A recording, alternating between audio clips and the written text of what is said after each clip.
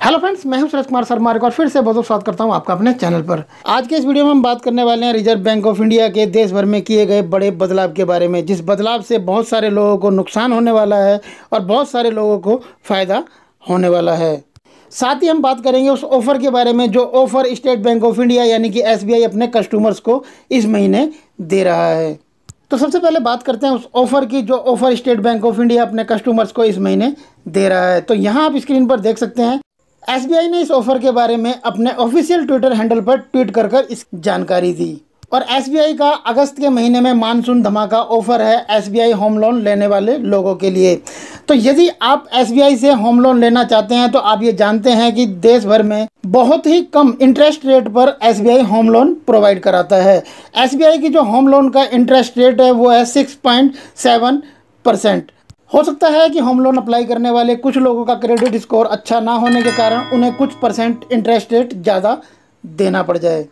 तो यदि आप 31 अगस्त 2021 से पहले पहले एसबीआई होम लोन के लिए अप्लाई करते हैं एसबीआई का होम लोन लेने के लिए जाते हैं तो एसबीआई की जो होम लोन के ऊपर सौ फ़ीसदी प्रोसेसिंग फ़ीस है, उसे इस महीने माफ़ कर दिया गया है। इसका सीधा सा अर्थ ये हुआ कि उन लोगों को इसका फ़ायदा मिलेगा जो लोग एसबीआई का होम लोन 31 अगस्त 2021 से पहले पहले अप्लाई कर कर लेते हैं। आपको बता दें कि एसबीआई का होम लोन लेने के लिए जो पेपर्स तैयार किए जाते हैं, उनकी जो प्रोसेसिंग फ़ीस होती है, वो ज़ीरो पॉइंट फोर परसेंट के लगभग होती है।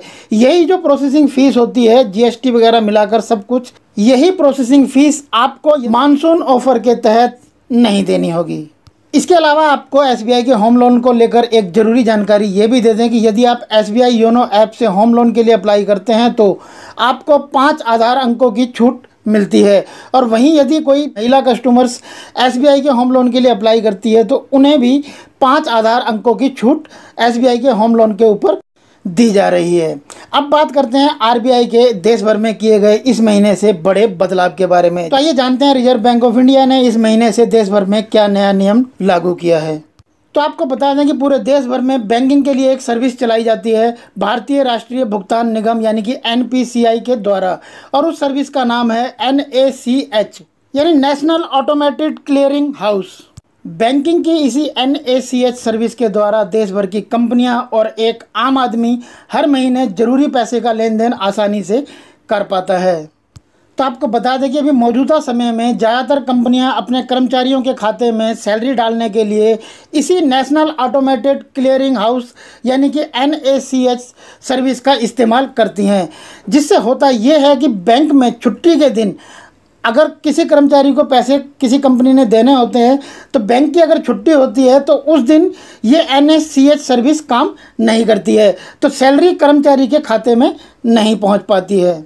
दूसरी तरफ़ बहुत सारे लोग ऐसे होते हैं जो कि छुट्टी से एक दिन पहले अपना चेक काट कर किसी को दे देते हैं या फिर चेक जाकर बैंक में डाल देते हैं, लेकिन एन सर्विस के द्वारा वो चेक बैंक की छुट्टी वाले दिन क्लियर नहीं हो पाता है। लेकिन अब आरबीआई यानी कि रिज़र्व बैंक ऑफ़ इंडिया ने इसी एन सर्विस को 24 घंटे के लिए उपलब्ध करा दिया है। तो अब किसी भी कंपनी ने किसी भी कर्मचारी को अगर सैलरी देनी होगी तो छुट्टी वाले दिन भी उस कर्मचारी के खाते में वो सैलरी इस सर्विस के द्वारा पहुँच जाएगी। अगर किसी ने छुट्टी से एक दिन पहले चेक बैंक के अंदर डाला है तो छुट्टी वाले दिन भी इस सर्विस के काम करने की वजह से वो चेक क्लियर हो जाएगा।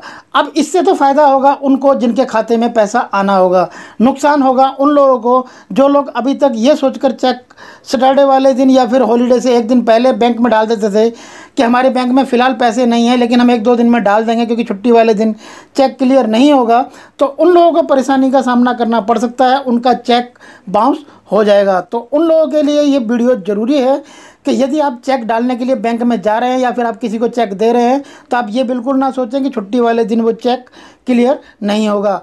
अब अगस्त 2021 के बाद से आरबीआई के नए नियमों के अनुसार ये चेक छुट्टी वाले दिन भी क्लियर हो जाएगा। तो आप चेक किसी को देते समय या बैंक में डालते समय आप ये ज़रूर ध्यान रखें कि आपके खाते में जितना आपने चेक काट के दिया है, उतना अमाउंट होना चाहिए ताकि वो चेक बाउंस ना हो। क्योंकि चेक अगर बाउंस होगा तो आपको परेशानी का सामना करना पड़ेगा, आपको नुकसान उठाना पड़ेगा। आपको यहाँ पर यह भी जानकारी दे दें कि एन के ज़रिए बल्क लेन देन करने के लिए भी इस सर्विस का इस्तेमाल किया जाता है। इसी सर्विस के ज़रिए सैलरी शेयर धारकों को डिविडेंड और इंटरेस्ट और पेंशन ट्रांसफ़र जैसे भुगतान करने के लिए भी चलाया जाता है। इसी सर्विस के ज़रिए बिजली के बिल टेलीफोन के बिल, पानी के बिल जैसे जितने भी भुगतान होते हैं, ये सारे भुगतान भी इसी N A C H service यानी कि national automated clearing house service के ज़रिए किए जाते हैं। तो रिज़र्व बैंक ऑफ़ इंडिया के 24 घंटे इस सर्विस को अवेलेबल करा देने के बाद यदि बैंक में छुट्टी भी होगी और आपके खाते से किसी भी तरीके की ईएमआई कटनी होगी तो वो बैंक की छुट्टी वाले दिन भी अब कट जाएगी। आपके म्यूचुअल फंड, लोन की ईएमआई या टेलीफोन के जितने भी बिल के भुगतान होंगे, बिजली के भुगतान होंगे, जो भी आपने ऑटो पेमेंट पे डाले होंगे, वो बैंक की छुट्टी वाले दिन भी आपके खाते से कट जाएँगे। आई होप फ्रेंड ये वीडियो आपके लिए ज़रूर हेल्पफुल रहा होगा। यदि ये वीडियो आपके लिए हेल्पफुल रहा है तो इस वीडियो को लाइक करें शेयर करें। अपने दोस्तों के साथ व्हाट्सअप और फेसबुक पर और बैंकिंग से रिलेटेड और ज़्यादा बेहतरीन वीडियोज़ के लिए आप हमारी बैंकिंग के प्लेलिस्ट जाकर देख सकते हैं। प्लेलिस्ट का लिंक आपको इस वीडियो के नीचे डिस्क्रिप्शन में मिल जाएगा। यदि आपको वीडियो पसंद आया तो इस वीडियो को लाइक करें शेयर करें अपने दोस्तों के साथ व्हाट्सअप और फेसबुक पर। अगर अभी तक आपने हमारे चैनल को सब्सक्राइब नहीं किया था तो नीचे लाल वाले सब्सक्राइब के बटन को प्रेस करके चैनल को सब्सक्राइब कर लें, बराबर में बेल का आइकॉन है।